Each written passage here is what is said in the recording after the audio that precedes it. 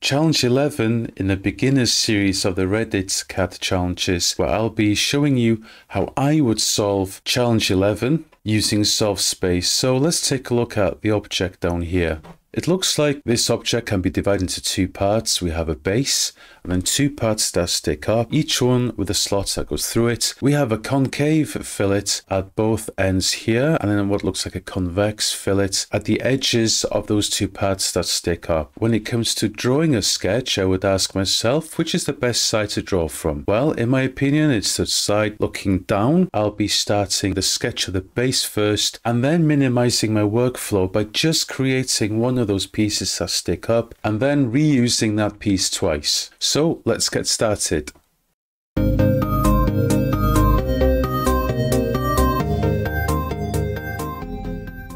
First, let's select the line segments tool, create a line first, and I'll stop there because I want to make sure that this line is proportioned correctly first. So the length of the line there is 40, 50, 64 millimeters. So I'll select the line, and click here, constraint distance, type in 64, and now I can carry on. We don't yet have a closed contour, that's okay. We're just beginning to sketch out the base first. Let's make this one 75 millimeters. So select it, hit D on the keyboard, or click this button here and type in 75. And as always, I like to put, where possible, my measurements outside of the sketch. Now I want to make these two lines equal to each other, so I'll select them and click here, constraint equal length. Now let's work at the concave fillet. So I'll select the arc tool, click here first, and drag out like this. And I'll try and get it as close as I can to what it looks like in the sketch. Let's draw another one up here. Radius of this arc is 20 millimeters, so its diameter will be 40. Now I want these two arcs to be equal to each other, so I'll select them both and click here, constraint equal length. Line segments tool, and let's just draw two lines going across. Clicking on this one, constraining it to be horizontal, selecting them both and making them equal. Now, even though these two lines are equal in length, you'll see that this point is slightly further ahead than this one. And that's because we can change the angle between this line and the arc at this point and this point. And we'll come, we'll come to that in a second. The next thing I need to do now is make sure that this line is tangent to the curve of the arc at this point, so I'm highlighting here. And there is an easy way of doing that in SolveSpace. You just select them both and click this button, Constraint to be tangents. Let's do the same thing on the other side.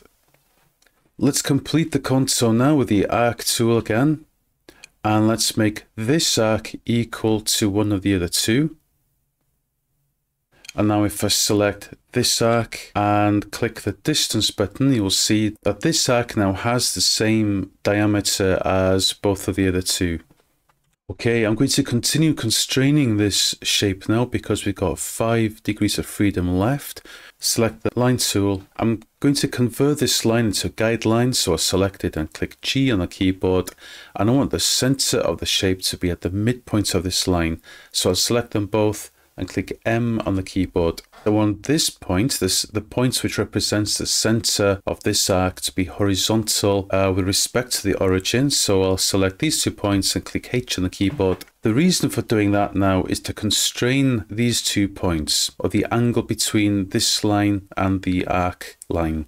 We've now got two degrees of freedom. There's one other thing I need to do and that is to constrain this line to be tangents to this curve at this point. So select them both and click here. And now these two points are equal.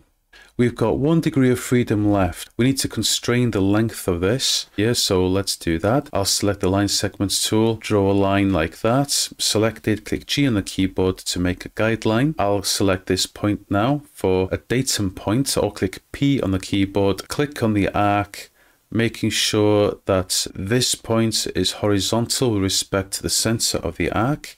And now I can constrain the distance from this point to this line by 70 millimeters. We've got 0 degrees of freedom and we can now extrude this model by clicking here.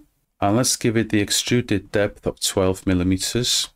Now let's draw the holes. I want to create a sketch at this face. So let's do that. I'll select this point and click here. Selecting the circle tool, I'll click at the center here and then just drag out and click again to release. The diameter should be 12 millimeters. So what's, whatever is white is the current sketch and whatever is brown is the previous sketch. Let's draw two more circles. I'll try not to snap it against anything over here. Let's select them both and make them equal by clicking constrain equal length. Let's make them horizontally aligned to each other by selecting the centers and clicking here. And now I've got 4 degrees of freedom because each can be moved in the XY plane. Let's constrain the distance between them to be 34 millimeters. Now let's constrain this point and the origin to be vertically aligned and we can constrain it further by drawing two guidelines now, one from the center of one of the circles to the origin, remembering to highlight the line and clicking G on the keyboard and let's repeat it on the other side. And now I can say that I want this line and this line to be equal to each other by clicking here. Zero degrees of freedom, so let's extrude those two circles and we need to take the difference. So in the properties panel, we click difference and using the middle mouse button, I can click and rotate the model, selecting one of the points that's been extruded and the bottom face of the base, and then clicking constrain point on plane. And now we've got the base done. So I'll go to file, save as, and I'll save this as a SolveSpace file and I'll just call it base and save it wherever I want. Now that we've saved that, I'll go to File and New. Let's now create one of those pieces that stick up with the slots going through it. Selecting the rectangle tool, I'll just roughly create an outline of that. I want the length of it to be 75 millimeters and the width to be 12 millimeters. Let's anchor this by selecting any points on the sketch and the origin and clicking constrain point on point.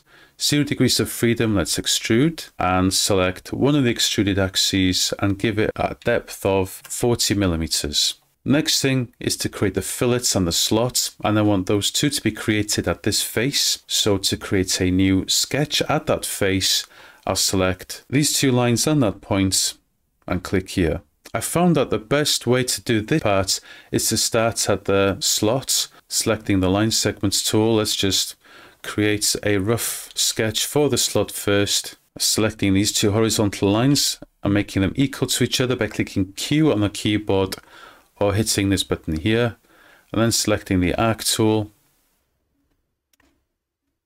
Let's now make sure that this line is tangent to the arc at this point. So I'll select them both and click constraint to be tangents and the same thing on the other side.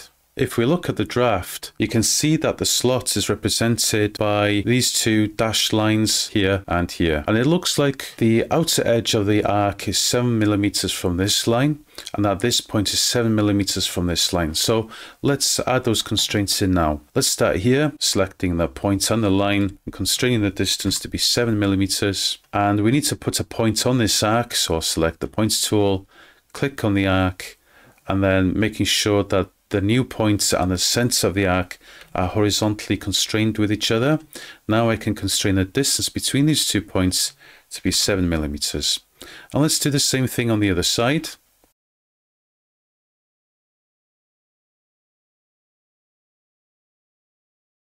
And you'll notice as well here that I need to constrain this line to be tangent to the curve.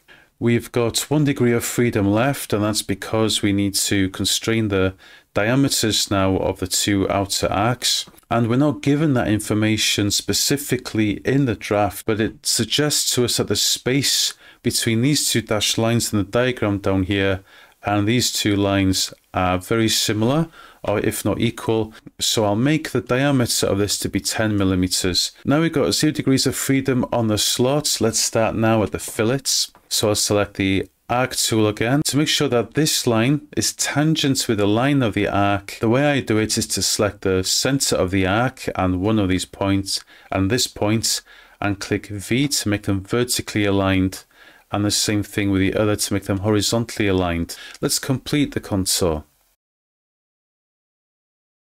Now I'll constrain these two arcs to be equal to each other. And we've got one degree of freedom left because we need to constrain the diameters of those arcs now. If you look closely at this rendered image, you see that uh, we have a line here and here.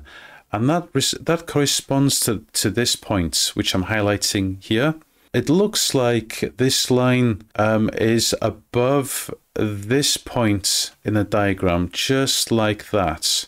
And therefore it looks like uh, when this was designed, um, they used a common circle, one for the fillet and one for the outer diameter of the slot. To select this point and the center and make them vertical to each other. And now we've got zero degrees of freedom. We can extrude the model, middle click and rotate. In the properties panel, taking the difference, and you'll see that we have some rendering issues here. And the way around that is to click on the checkbox, uh, force NURB surface triangle mesh. It's partly occluded by the diagram there, but click on it, the error message disappears, and now I can carry on. I'll select one of the points and the face and constrain that point to be on that face. We have another piece done, so let's save this as another SolveSpace file. I'm going to call this slot piece. Okay, Let's go to File and click New. Let's now open our base sketch. So I'll go to File. Now I want to import what I've just created, that slot piece. So I'll go to New Group and let's head down to Link Assemble and I'll select the slot piece model and you'll notice that it looks hollow and that's because there was a rendering issue where we had to force NURB surface to triangle mesh. I don't fully understand why that happens sometimes. That's because I still I'm still learning about SolveSpace. There is a way around this now. You just click that same tick box again. Force NURB surface to triangle mesh. And now we have a proper model. I want this piece to be over here, where this point is overlaid at this point, but see what happens when I try and do that. I select them both and click constrain points on points, and you'll see that the orientation of that imported model has changed. So the first thing we need to do is strain the orientation of that imported model. And there is a way to do that. I'm going to select the normal line parallel with the z-axis on the imported model and also on the base model and click this button. Constrain normals to have the same orientation. Now when I do the same thing and select these two points and constrain one to be on top of the other, you see that they're properly orientated now. There's two things I can do now. I can either repeat the process by bringing in another model, but I want to show you a button that I've not used before in these videos, and it's this one, is to repeat new group step and repeat translating. So if I click on it, it's now repeated the imported model three times and staggered them. So in the properties panel here, you see that we have a three times repeat. So let's change that to two. And now if I rotate and select this point and this point and make them overlaid with each other, it looks now we have a completed model and I, I can hide everything in the properties panel. But I think that looks okay from my point of view anyway. So I'll see you in the next video for challenge 12.